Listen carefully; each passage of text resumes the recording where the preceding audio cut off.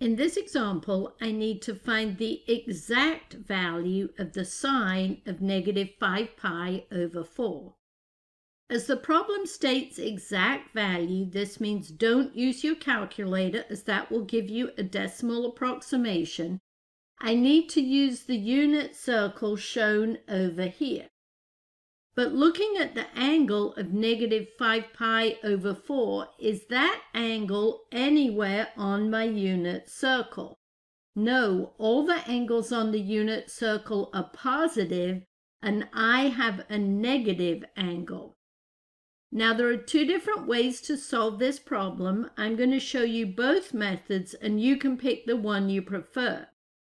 The first method uses coterminal angles because trig functions of coterminal angles are equal. So I need to find an angle that's coterminal to negative 5 pi over 4 and is also somewhere here on my unit circle. Now, how do we find coterminal angles? You take your given angle of negative 5 pi over 4 and you're either going to add or subtract some multiple of one revolution to it. Since my angle is in radians, one revolution is 2 pi. My given angle is negative, so I'm going to start by just adding one revolution to it. So I'm just going to add 2 pi. I have a fraction and 2 pi, so turn 2 pi into a fraction by dividing it by 1.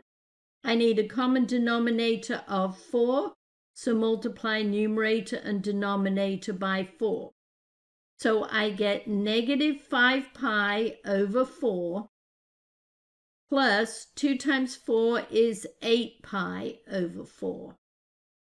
Negative 5 plus 8 is positive 3 pi over 4.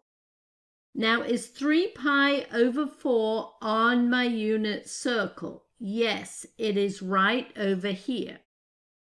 So the sine of negative 5 pi over 4 equals the sine of its coterminal angle of 3 pi over 4. And remember, on the unit circle, the x-coordinate is the cosine of this angle, the y-coordinate is the sine of this angle. I need the sine of that angle, so my answer is the square root of 2 divided by 2. So the sine of negative 5 pi over 4 is the positive square root of 2 over 2. Now in method 2, I'm going to use the fact that the sine function is an odd function. Remember, a function f is an odd function if f of negative x equals negative f of x for all x in the domain of f. So in this case, the sine of negative 5 pi divided by 4, using this definition here, is going to equal the negative sine of positive 5 pi over 4. Now, is 5 pi over 4 on the unit circle? Yes, it is right here.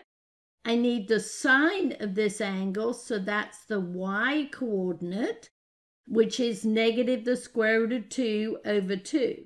So my answer is going to be the opposite of this y coordinate of negative the square root of 2 divided by 2. What's the opposite of a negative? It's a positive. So my answer is just the square root of 2 divided by 2. Now, did I get the same answer by method 2 as I got in method 1? Yes. Now, it doesn't matter which method you use, pick the method you prefer.